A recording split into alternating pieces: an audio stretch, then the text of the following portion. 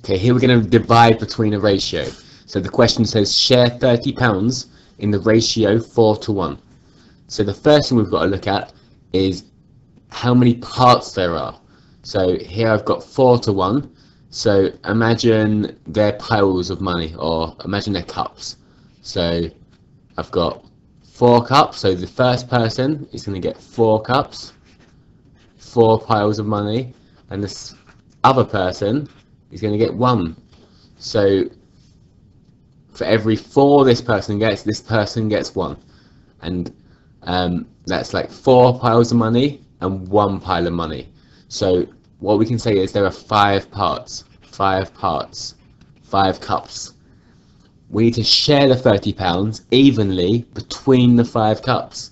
So sharing is the same as dividing. So 30 shared equally between 5. 30 pounds divided by 5, that's 6 pounds. So in each of the cups, we're going to have 6 pounds.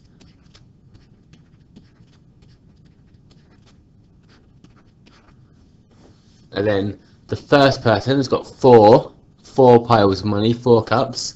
So that's 4 times 6. 4 lots of 6, 24. And the second person has got one, one six, so six. So that's thirty pounds shared in the ratio four to one. Okay, here's a different kind of ratio because there's three uh, people involved. So A's going to get four parts, B's going to get one part, C's going to get two parts. So in total, if we've got four, one and two.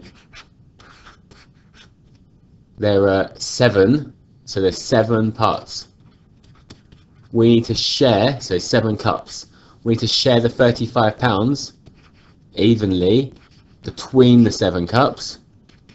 35 divided by 7 that's 5 so in each cup we can put 5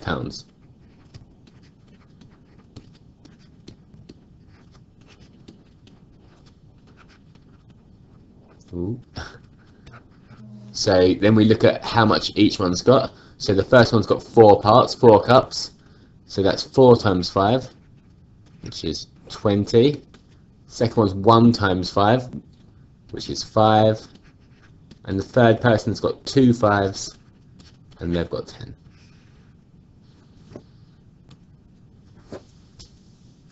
Okay, this is a different kind of question. Um, you need to be aware that the ratio questions aren't always going to come in exactly the same format. So Mr. A and Mr. B share some money in the ratio 2 to 3.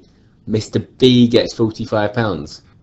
So this is what Mr. B's got. This is what Mr. A's got. So £45 isn't going to go between five parts, it's just those three parts.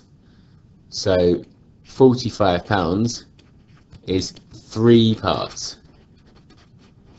So to find out what one part is, we need to divide by 3.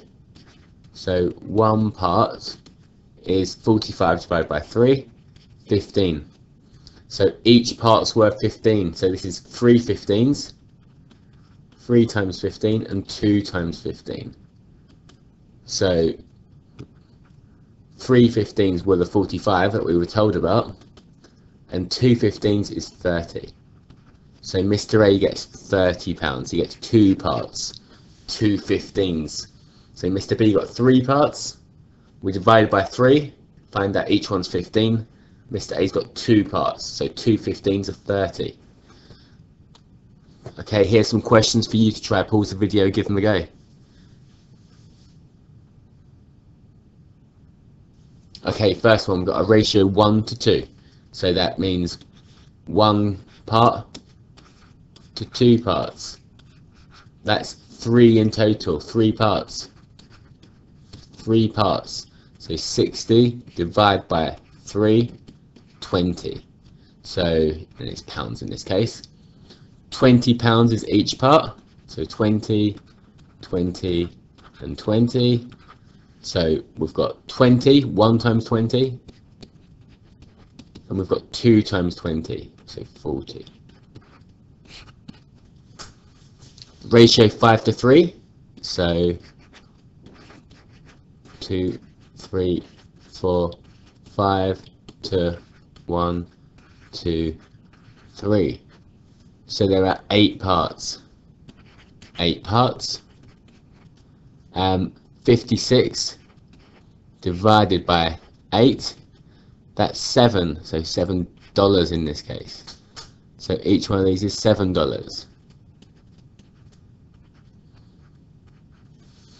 we've got five sevens, 5 times 7 so 35 dollars and we've got 3 times 7 which is 21 dollars we can always check these by making sure they add up so 20 and 40 add up to 60, 35 and 21 add up to 56. So we know that we've got the right amount of money at the end if we check that. Um, and 65 sweets in the ratio 3 to 1 to 1. That's five parts. I'm not going to draw the, um, the cups this time. I'm just going to go straight to five parts. And then 65 divided by 5 is 13. So 13 sweets is a part. Each part is 13. So I've got 3 times 13, 1 times 13, and 1 times 13. 3 13s are 39, 1 13 is 13, 113 is 13. So that's the final answer.